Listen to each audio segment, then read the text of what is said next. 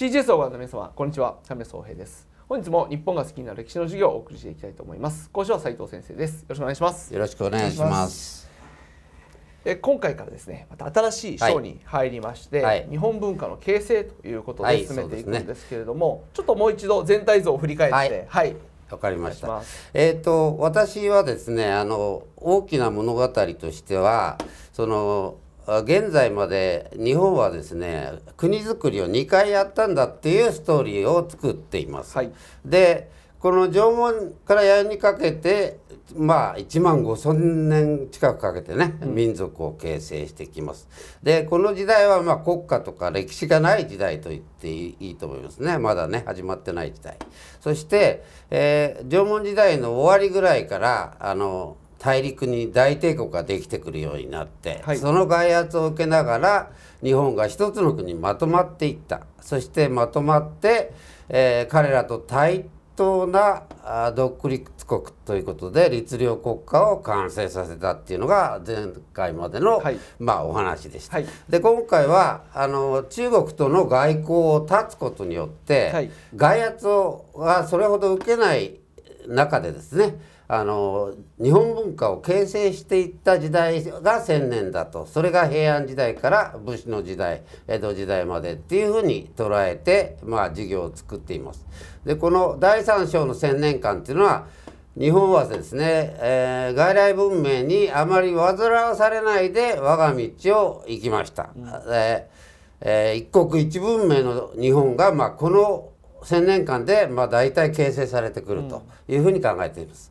ただし、まあ、13世紀の元寇モンゴル来航ですね。と16世紀のですね大航海時代の、まあ、スペインポルトガルなどの圧力。それからその後来るポランダオランダっていうオランダイギリスですね。あのプロテスタントが入れ替わるという形の時代にちょっとこう西洋とのあの最初の出会いがありましたけどね、えーその後はまあえー外来文明にあんまり煩わされないで、えー日本を作っていったというふうに捉えています。なるほど。いかがですか？はい、私はですね、まあ、煩わされなかったというかむしろこの1,000年間の、うん。こう日本と外国との交流っていうのが、あまりにも日本で教えられなさすぎてると思っていて、はいはい。まあ、CGS でもあの茂木先生とかの番組もやってるんですけど、はい。そこでいかにこの時代もですねあのこの平安から江戸時代、はい。外国とのこうやり取りがあったのかというようなところを掘っていくとやっぱりまた違う日本の姿が見えるというので、ええ。なんか煩わされなかったというよりも比較的優位に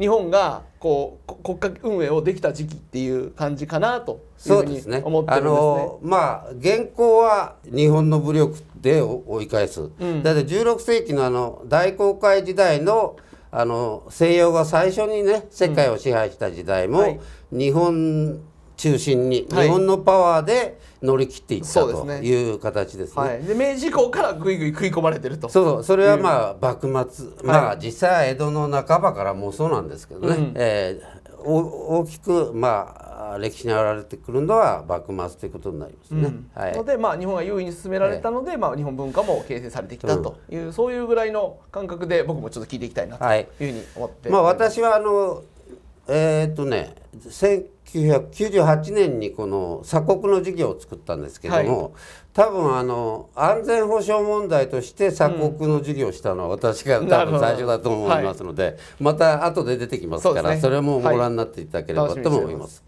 はい、では今日本編の方にはい、わかりました。じゃあ今日はですね、えーその1時間目ということで藤原道長と貴族の生活ということで進めます。はい。で最初まあ簡単に桓武天皇という、えー方ちょうど50代目の天皇陛下がですね、はい京都に都を移します。はいでこの時代が平安時代でそして天皇陛下はこのあと1,000年間ずーっと京都にいらっしゃるわけですね、はいほぼね、うんですからずっと都は平安京のままですね。うんあえーそういう意味でも確かに先え年ですね。えそういうことです。はい。で、えー平安時代になって100年後ぐらいの時なんですが菅原道真という人がですね、えー提案します。えーその提案の中身っていうかねその決定決定によってですね日本の歴史の、まあ、第3章が始まりますよっていうことで最初こうあのか写真を出しながらですねこの人は誰でしょうというようなことをや クイズをやりながら進めるんですけども、うんどええ。でそれはまあ遣唐使の廃止なんですね、はい。ずーっと続いてきた、遣唐使の廃止、はい。唐はもう、あの騎馬民族に攻められたり内乱だり内乱内乱が起こったりしてねいつ滅びてもおかしくない状況だと。ね。唐には我が国が学ぶものはなく恐れる力もなくなっているんだということそれから、えー遣唐使は結構ですね遭難にあったり海賊にあったりしてね、えーゆ優れた人材が失われたりしてるということで、えーもうあの国とは付き合わないでいいだろうという決断をいたします。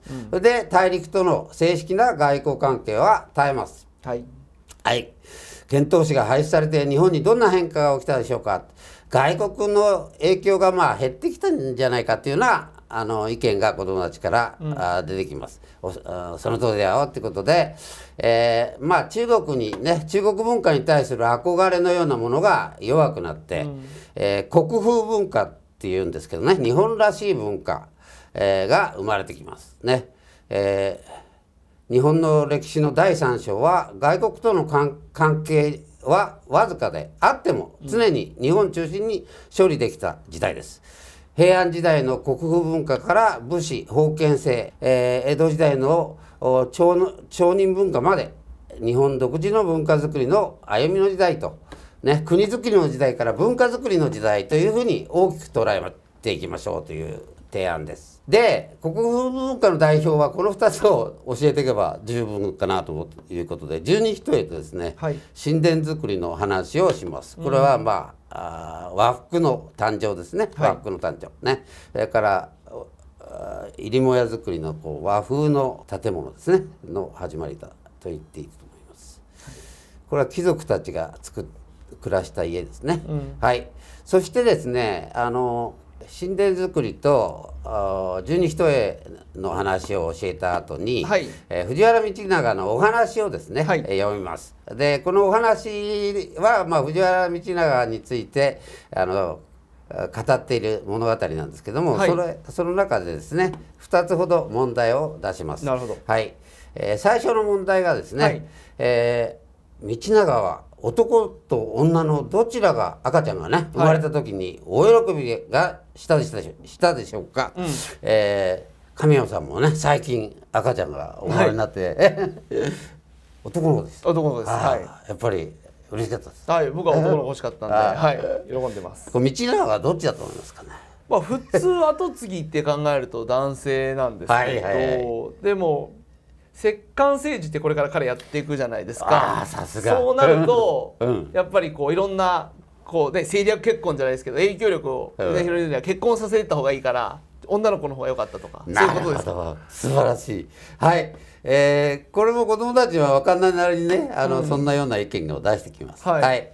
でまあ正解はよく私もよく分かんないんですけどね、うん。あの通い婚と言いまして当時はあの、お男の男性が女の女性の家に通っていたらしいんですね、はい。結婚の形がね、うんで、えー道長としては娘を天皇のお妃にすることによって、はい。まあ権力を握っていきたいという狙いがあってね、はい。で、えーそして天皇と娘の間に孫が生まれますね、うん。男の子がね、はい。そしたらその孫はですね道長の元で成長していく、ん。だからおじいちゃんおじいちゃんって。当時はサザエさんみたいな状態だったらしいそうですねサザエさんでマスオさんみたいな形でうん。旦那さんがうん。こういあの女性方の家に来るっていうそういうこことだったらしいそうそうそう、うん。うん。それでおじいちゃんおじいちゃんって懐いてる子がやがて天皇になると、うん。もうおじいちゃんの言うことは何でも聞くという形でですね。まあこれはまああの前にも蘇我氏のあたりでもちょっと触れてたんですが、はい。そういうえやり方が多いんですね、権力を握る人たちのやり方がね。うんはい。でそのようにして道長はあー摂政関白になってですね、え朝廷の権力を独占してきます。うん。でこの時代を、まあ、摂関政治ということで平安時代にでてて出てくるテスト問題の、まあ、中心はこの摂関政治だはい。ともうこれ思います。ばっかり書かされますよね。摂関摂政治。関政治ね。説ってこれ字あんまり使わないもんね。そうですね。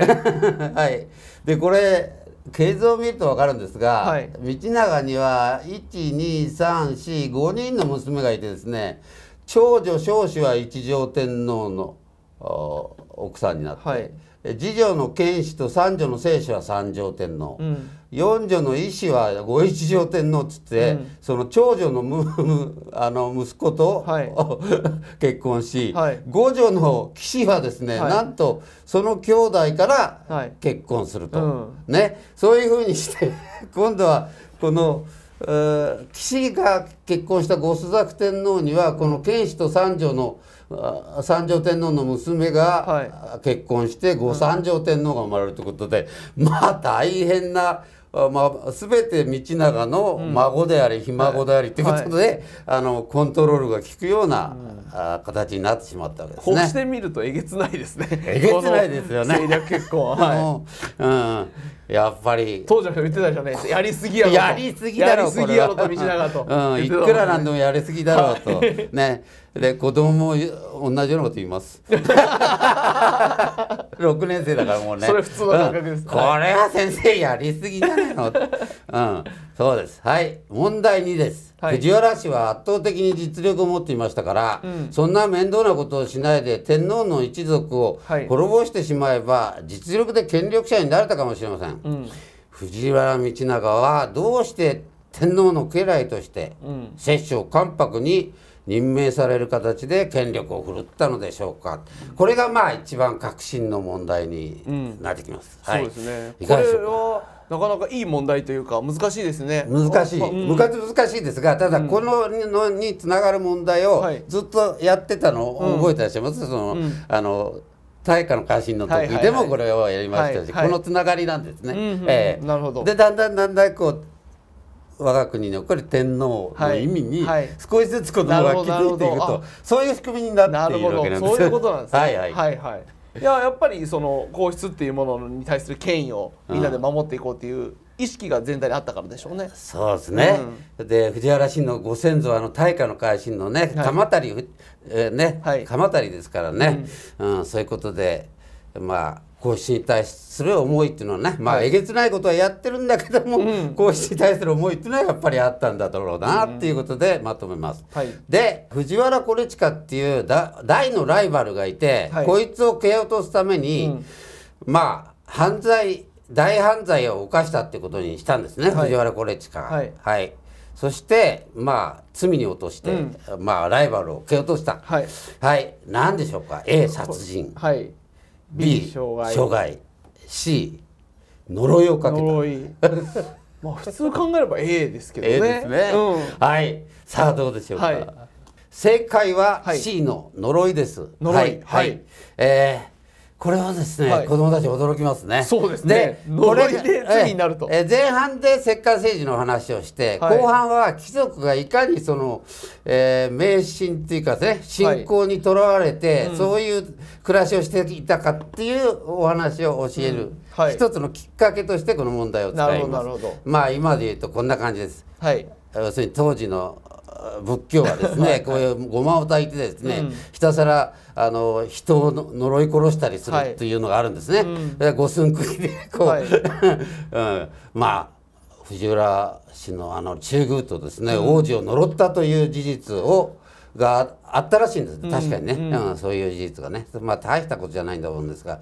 でまあ、えーどうしたら島流しでしたかね、うん。うんされてしまいます。でということで道長は「この世は我が世とどもを持ち継ぎの欠けたることもなしと思えば」ってこれはまあ暗記させるんですけども、みんなね覚えましたよね。ええ。はい。で摂関政治っていうのはまあこんな感じだね。天皇陛下は権威としていらっしゃって、力は藤原氏が持ってるからじゃあお前滞りなく政治を行いなさいという命令をしますね、天皇陛下が任命します。で、えー朝廷朝廷でが国民にを統治するという形になってるわけですね、なるはい、はい。えー貴族たちは怨霊や悪霊鬼や地獄を信じひたすら神仏にすがって生きていました。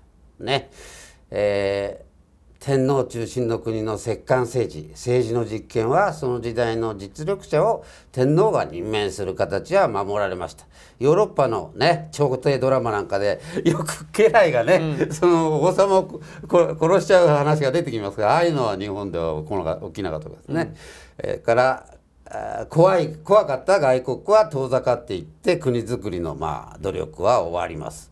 そして貴族らはある意味同じ行事を毎日暮らしてね、えー、繰り返す国風文化を創造するというそういう時代になっていったんですね。うん、これ平安時代っていうのはあの国軍っていうか軍隊がなはい、なってしまうんですね。うん、すねうん、えー、あのいうことでしかも地方を治める役人なんかももう都にいて現場はもう現地の人に任せるとかね、はい、そんなふうになっていって要するに中央集権国家なんだけど、うん、あのパワーは持たないで権威だけでその日本が動いているみたいな感じ、はい、それがなんと400年も続いたんですからね、うん、まあ、ある意味脅威と言っていいかなと思います。はい、これがまあ平安時代時代を、まあ、たった1年で、うん、1回1時間で教えてしまうという、うん、授業なんですけど。なるほど、はい。まあね、貴族たちがね怨霊とか悪霊を恐れてたっていうことですけどなんかこう言って聞くとすごくなんか迷信じみたというかあれですけど、うん、実は今一周してですね、うん、結構こういうことを皆さん大事にしないから、うん、逆にあの害が及んでるかなと感じることも僕はありますね。昔の人がなんか僕も昔はねこういうことってなんかいやそんな非科学的だと思ってたんですけど、いや意外と人の生まれ変わりとかそういう人の思いとか想念とか。そういうものってもう一回こう今一周回ってね、はい、なんかもう一回見直される時期に入ってきたんじゃないかなと思うのでこういうことを昔もあったんだよっていうことをちゃんと教えておくっていうことは大事かもしれませんね。だからあのなんていうかな宗教的な内容っていうのを割合、うん、割合継続して私は教えてきていて、はいうん、え特にまあ仏教がこうなんていうかなこうこういう姿になったっていうのはちょっと平安時代の特徴でもあるのでね、はい、あのまあ、教えるんですけども、はい、どれほどそのとろあの信じていたかっていうことが資料でわかるわけね、うんうん、なお風呂には何日に入んなきゃいけないとか、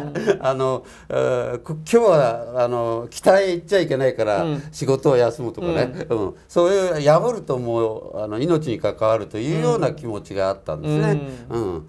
だから呪ったら滞在になるというようなことにもなっていったということで、まあ、当時の人のそういう感覚を分か分からせるってこともまあ大事かなと思うんです、ね。うん、いやおそらくだから何もなくただバカでそんなことやってたんじゃないと思うんですよ、ね、そうそうそう、うん、そういう意味じゃない、うん、だからいやそういうことを 僕らこう科学が進んでると思い込んでるから、そんなことないよと。昔の人は何も分かってなかったんだよみたいに否定的に捉えるんじゃなくて、昔の人の方がそういった感覚が強くて、ちゃんとそういったものを大事にしてたんだっていうそういうことですよね。そうですそうです、だからうんそれはもう戦国時代のあの合理的にやってやらなきゃ戦いに勝てない武将たちも、そういう占いに頼っていたし、はい、神様にあの、戦いに行く前は必ず拝んだしね、うん、そういうことはずっとそれはまあつい最近までですよ。あの生まれた子供がほとんど死ななくなったのは、まだ30年前ぐらいからです、はい、うん、それまでの日本の人口はこういうピラミッドの形だ